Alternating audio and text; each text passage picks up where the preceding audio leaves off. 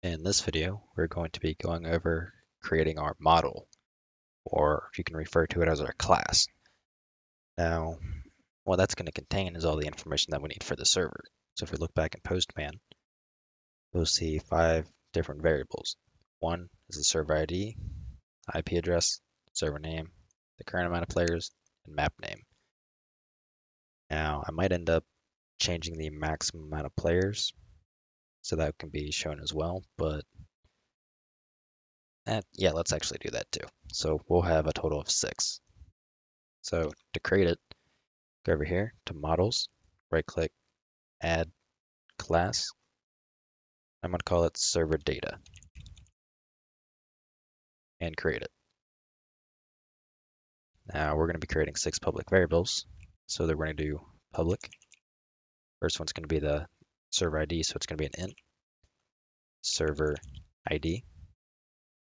We're going to do get set. And we do the same thing for the remaining. So I'm going to paste it, two, three, four, five, six. So next one is we're going to do the IP address.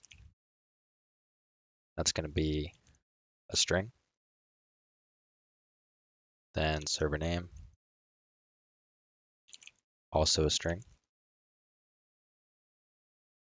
Then I'm going to do map name. And then the players. So this one's going to be current players and max players. Oh, just like that. So for example, if we go ahead and create one, it would be server data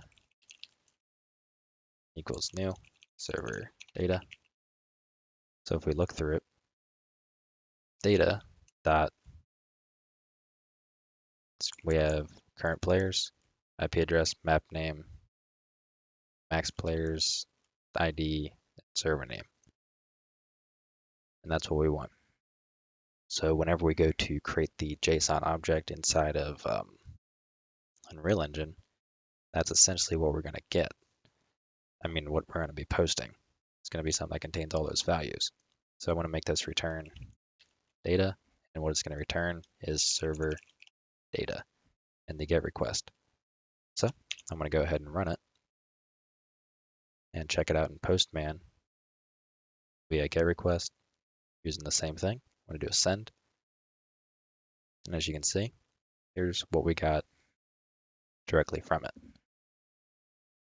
So we have the server ID, IP, server name, map name, current players, and max players.